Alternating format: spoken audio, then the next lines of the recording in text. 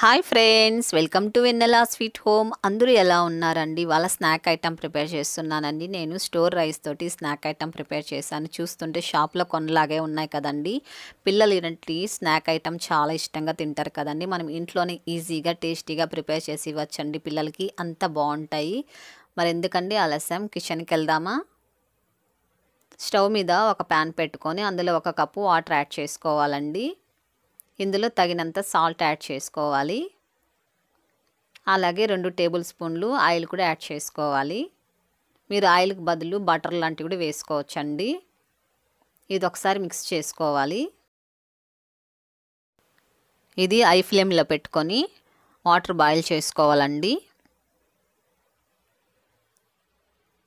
చూడండి ఇలా బాయిల్ అయితే సరిపోతుంది. సిమ్లో ఉంచేసుకొని ఇందులో బియ్య పిండి యాడ్ చేసుకోవాలండి. కప్పు ఫుల్గా తీసుకోవాలండి బియ్య పిండి. ఇందులో నాలుగు టేబుల్ స్పూన్లు శనగపిండి కూడా యాడ్ చేసుకోవాలి. శనగపిండి జల్లించి యాడ్ చేసుకోవాలండి. మనం జల్లించి వేసుకున్నామంటే బాగా మిక్స్ అవుతుందండి. ఉండలు ఉన్నాయంటే సరిగా రాదు. ఇదంతా ఒకసారి మిక్స్ చేసుకొని ఇప్పుడు స్టవ్ ఆపేసుకోవాలండి. స్టవ్ ఆపేసుకొని మూత పెట్టుకొని పది నిమిషాల పాటు ఇది పక్కన పెట్టేసుకోవాలి. చూడండి పది నిమిషాల తర్వాత బాగా సెట్ అయిపోయిందండి. చాలా సాఫ్ట్గా ఉంది. ఇప్పుడు ఒక ప్లేట్లోకి తీసేసుకోవాలి. ఇది మనము వేడి మీదనే ఇది బాగా ఒత్తుకోవాలండి చపాతి పిండిలాగా. ఇలా ఇలా చేసేటప్పుడు బాగా కాలుతుందండి కాబట్టి కాస్త తడి చేసుకొని చేతికి ఇలా బాగా సాఫ్ట్గా చేసుకోవాలి చపాతీ ముద్దలాగా. చూడండి ఇలా సాఫ్ట్గా ఉండాలండి. ఇలా చిన్న ముద్దలాగా చేసుకోవాలి. ఇది మూత పెట్టేసుకొని పక్కన పెట్టుకోవాలండి పిండి ఆరిపోకుండా.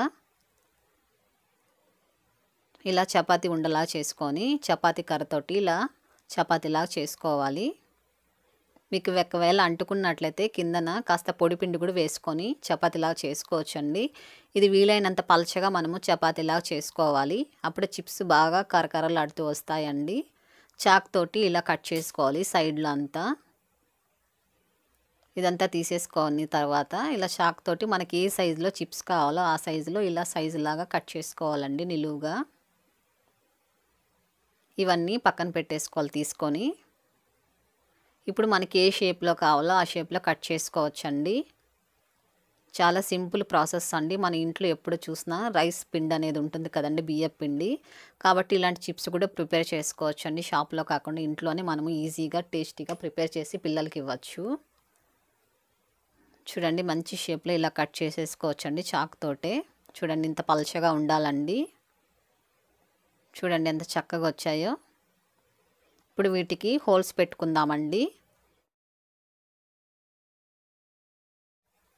ఇలా హోల్స్ పెట్టుకున్నా అంటే చిప్స్ లాగా వస్తాయండి. మనం హోల్స్ పెట్టకుండా అలాగే ఫ్రై చేసామంటే పూరీలాగా వచ్చేస్తాయి. చూడండి ఎంత చక్కగా ఉన్నాయో. అన్నీ ఇలాగే ప్రిపేర్ చేసుకోవాలి. చూడండి అన్నీ ఇలా ప్రిపేర్ చేసుకున్నాం కదా. ఇప్పుడు వీటిని ఫ్రై చేసుకుందామండి. ఇప్పుడు స్టవ్ వెలిగించుకొని ఒక ప్యాన్ పెట్టుకొని ఆయిల్ పెట్టుకొని హీట్ చేసుకోవాలండి. బాగా హీట్ ఎక్కిన తర్వాత ఇందులో వేసేసుకోవాలి. ఇందులో అన్ని చిప్స్ వేసిన తర్వాత మీడియం ఫ్లేమ్లో ఉంచుకొని ఫ్రై చేసుకోవాలండి. త్వరగా ఫ్రై అయిపోతాయండి జస్ట్ ఒక త్రీ మినిట్స్లో ఫ్రై చేసేసి వీటిని. చాలా సింపుల్ అండి. చూడండి ఇలా తిప్పుతూ ఫ్రై చేసుకున్నామంటే ఈవెన్గా ఫ్రై అవుతాయి. చూడండి అప్పుడే మంచి కలర్ ఇలాగ ఉంటాయండి కలరు. మరి డార్క్గా రావు ఇలా వైట్గానే ఉంటాయి. వీటిని టిష్యూ పేపర్ మీద తీసేసుకుందామండి. అన్నీ ఇలాగే ఫ్రై చేసుకోవాలి. చూడండి ఎంత క్రంచీగా ఉన్నాయో వేడి మీద కూడా. పిల్లలు కావాలంటే ఇలాగే సాల్టీగా ఇవ్వచ్చండి.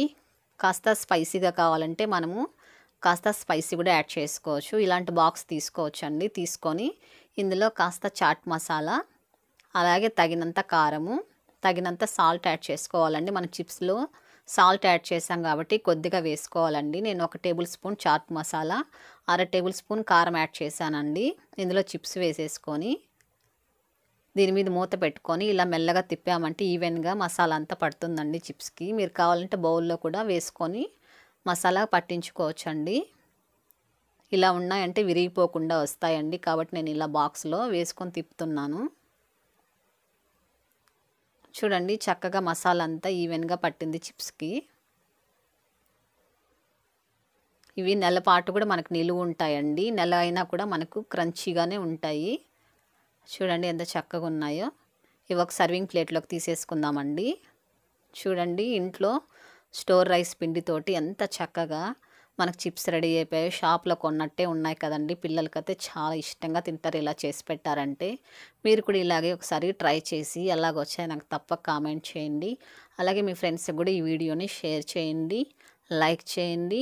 మన ఛానల్ ఫస్ట్ టైం చూస్తున్నట్లయితే తప్పక సబ్స్క్రైబ్ చేయండి. మరో టేస్టీతో మీ ముందు ఉంటుంది మీ వెన్నెల. Sweet home.